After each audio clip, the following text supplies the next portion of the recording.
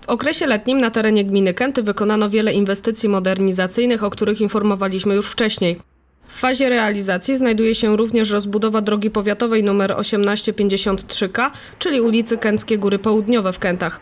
Jest to odcinek drogi o długości 282 metrów, wiodący od skrzyżowania z ulicą Krakowską. W ramach robót wykonane zostanie odwodnienie drogi i skarpy, jak również jezdnia o szerokości 3 metrów wraz z poboczami i zjazdami do posesji.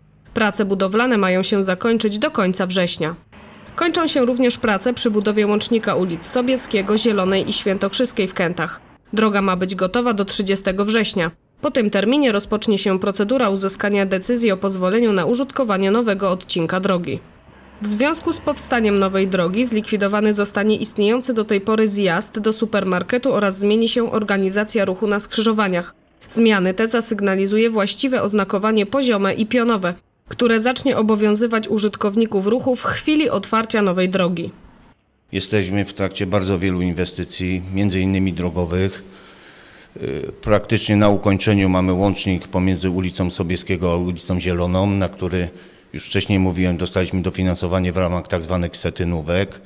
Ponadto trwają prace w Nowej Wsi na ulicy Moniuszki, gdzie praktycznie od nowa budujemy kawał, y, kawał drogi. Ponadto trwają asfaltowania, na przykład droga do ogródków działkowych w Kętach. Prace na górach południowych, gdzie wykonujemy odpowiedni odcinek drogi, począwszy od ulicy Krakowskiej do, do, do, do, do zabudowań.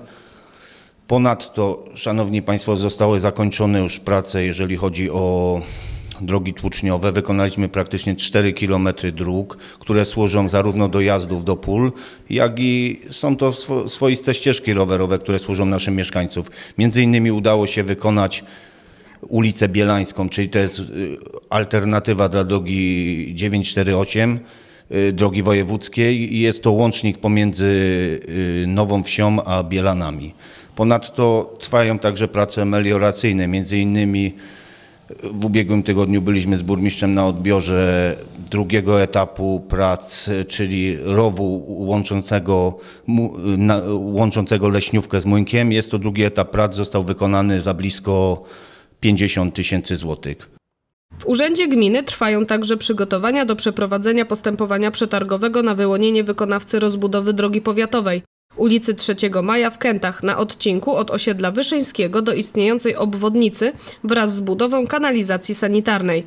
Realizacja tej inwestycji zakończy się w przyszłym roku, a całkowity jej koszt oszacowany został na kwotę blisko 3 milionów 800 tysięcy złotych.